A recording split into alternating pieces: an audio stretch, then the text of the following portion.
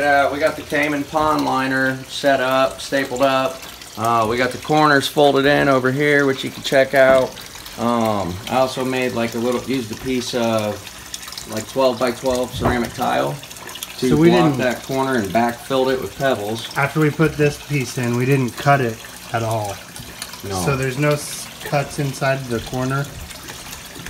And it's folded in and not out, so that the fold goes straight up the side there Trying to make it look instead of angled over. clean as possible.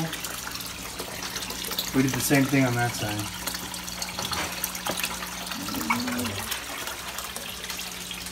And then we got the, the dock, we finished getting that flex sealed and reinstalled, or, yeah, flex sealed.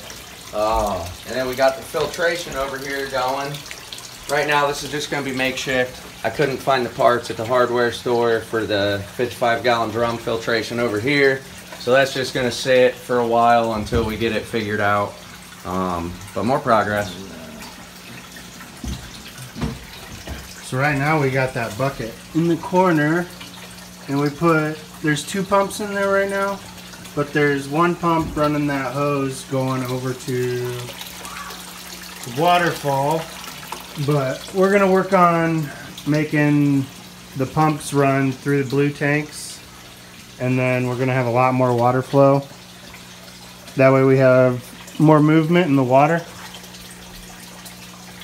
It'll filter it out better. But that bucket's a good start. Yep. T-Bone drilled a bunch of holes in it and then made it so we could run the hoses out the top. So it's pretty much ran or held the water the whole time now. Right? About five days now it's held water. Five days now we've had water in it. But that back corner back there is the lowest spot where that deck goes over there. So if we filled it up any higher than that, it would be leaking out everywhere.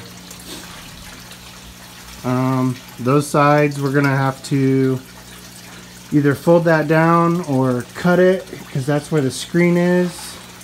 So this decking is where the Caiman are gonna climb in and out.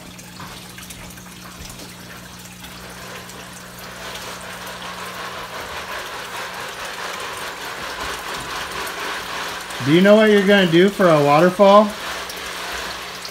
That? Do you know what you're gonna do for the waterfall? Are you gonna use that same spout or? I'll probably use the same setup just because I already got it, but I'm not sure. I'm probably gonna change that whole design up. Make a new spout? Yeah. Are you planning on putting these fish in there?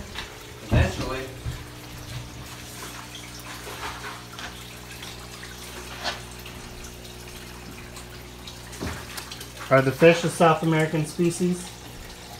I don't know. What are they? Molly's? Mollies.